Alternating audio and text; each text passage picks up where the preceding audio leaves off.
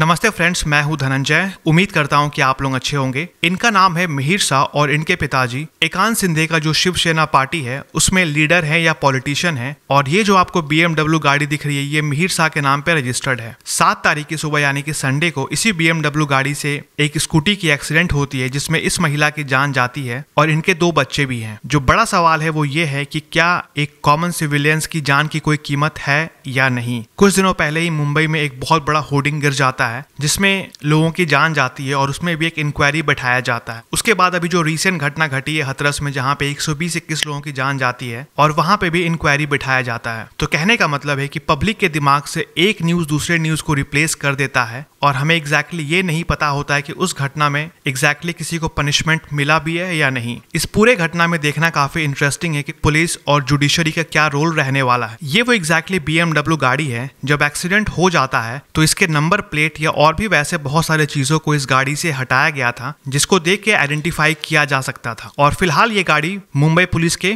Custody में है। लेकिन जो मेन अक्यूज है, मिहिर शाह, वो अभी भी पुलिस के गिरफ्त में नहीं है। मिहिर शाह के जो ड्राइवर थे, इनका नाम है राज ऋषि राजेंद्र सिंह बिदावत, जो पुलिस ने कोर्ट में स्टेटमेंट दिया है, उसके हिसाब से जब ये एक्सीडेंट होता है तो मिहिर शाह इस गाड़ी को चला रहे होते हैं। लेकिन जब एक्सीडेंट के बाद मिहिर शाह अपने ड्राइवर को कहते हैं कि आप ड्राइविंग सीट ले लो, ताकि कहीं से भी ये ना लगे कि ये जो एक्सीडेंट किया गया है, उस वक्त मिहिर शाह गाड़ी चला रहा था। और पूरे इन्वेस्टिगेशन को भी मिसलीड करने का प्रयास किया जाता है। ये एग्जैक्टली स्टेटमेंट दिया गया है पुलिस के द्वारा कोर्ट में। और जिस स्कूटी को ये बीएमडब्ल्यू हिट करते हैं, उस स्कूटी में उस वक्त दो लोग रहते हैं एक हस्बैंड रहते हैं जिनका नाम रहता है प्रदीप नकावा और उनकी वाइफ कावेरी। जिसमें प्रदीप तो बच जाते हैं, लेकिन उनकी वाइफ कावेरी नहीं बच पाती है, क्योंकि जिस तरीके से बीएमडब्ल्यू गाड़ी इस स्कूटी को हिट करते हैं और उसके बाद लगभग लगभग कुछ डेढ़ किलोमीटर तक इस स्कूटी को घसीटा जाता है तो एक बहुत ही कॉमन सा चीज़ आप समझ सकते हैं कि अगर नॉर्मली आप किसी भी खुरदड़े फर्श पे अगर आप सिंपली अगर अपने फिंगर्स को भी रगड़ते हैं दो तीन बार तो वहाँ पे भी काफ़ी चांसेस हो जाता है कि आपके हाथों में स्क्रैच पड़ जाएँगे। आप समझिए कि किसी भी ह्यूमन बींग को लगभग डेढ़ किलोमीटर तक घसीटा जाता है तो उनके जो बचने का चांसेस होता होता है, वो ऑलमोस्ट नेग्लिजिबल हो जाता है। और अगर कोई इन सब घटना के बाद अगर कोई बच भी जाता है तो उनके बॉडी पार्ट्स में इतने सारे मल्टीपल डैमेजेस हो जाएँगे कि शायद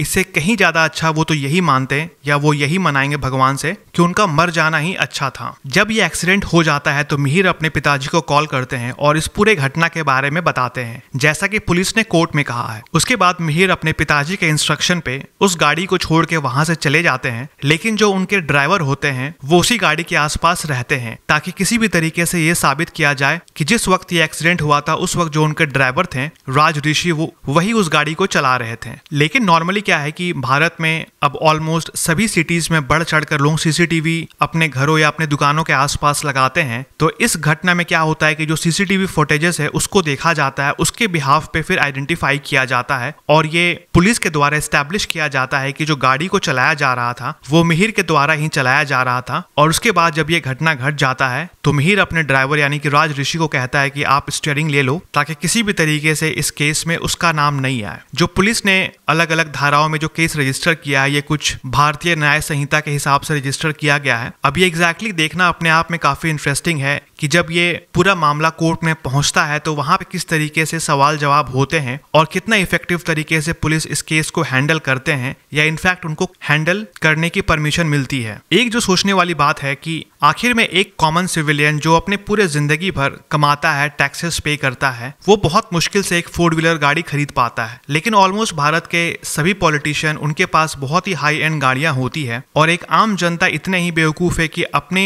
आइडियोलॉजी को साबित करने के लिए वो किसी भी पॉलिटिशियन या किसी भी पॉलिटिकल पार्टी को इस हद तक सपोर्ट करते हैं कि क्या सही है, क्या गलत है, उसे ही इवेल्युएट करना भूल जाते हैं। अगर बात किया जाए तो छह और सात तारीख के रात में जिस बार में बैठ के ये लोग अल्कोहल कंज्यूम किए थे, वहाँ पे कुछ बिल आता है अठारह हज़ार सात सौ तीस रुपए का। तो कहने का मतलब है कि अगर नॉर्मली अगर आप गूगल सर्च करेंगे तो आपको मालूम पड़ेगा कि अगर आपके बॉडी में अल्कोहल होता है या आपके यूरिन में अगर अल्कोहल होता है तो लगभग वो बहत्तर घंटे के बाद वो आपके बॉडी से ऑटोमेटिकली निकल जाता है। तो अगर आप चार, पाँच, छह दिनों के बाद अगर आपको पुलिस पकड़ते हैं और अगर आपको मेडिकल एग्जामिनेशन के लिए भेजा जाता है तो चांसेस काफ़ी हाई होता है कि आपके बॉडी में जो अल्कोहल है, वो ना निकले। और जब ये सब बात आप बहुत ही सिंपल गूगल सर्च से मालूम पड़ सकता है तो आई एम श्योर कि जो रसूखदार लोग होंगे, उनके पास और भी कॉन्टैक्ट होते होंगे, जहाँ पे उनके पास और भी रिफाइंड इन्फॉर्मेशन आता होगा। अभी कुछ दिनों पहले ही एक और इंसिडेंट मुंबई में हुआ था, जहाँ पे दो लोगों की जान जाती है, और जिस जो, और जो उस वक्त गाड़ी चला रहा था, वो एक माइनर था, यानी कि 18 साल से कम का था। और जहाँ तक बात किया जाए,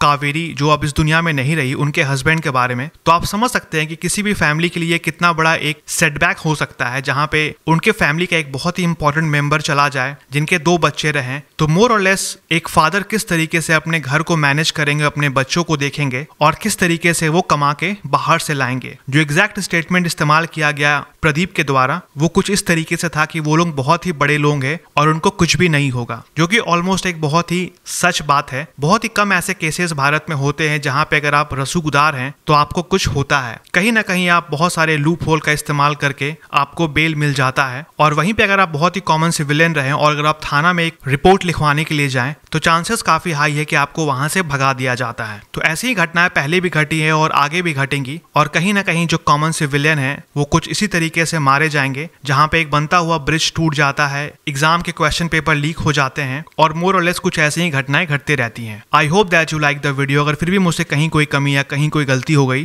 तो मैं माफ़ी चाहूँगा। मैं चाहूँगा कि आप मुझे ईमेल करके बताएँ। See you in in the next video. Have a wonderful day. Thank you. Take care. Goodbye.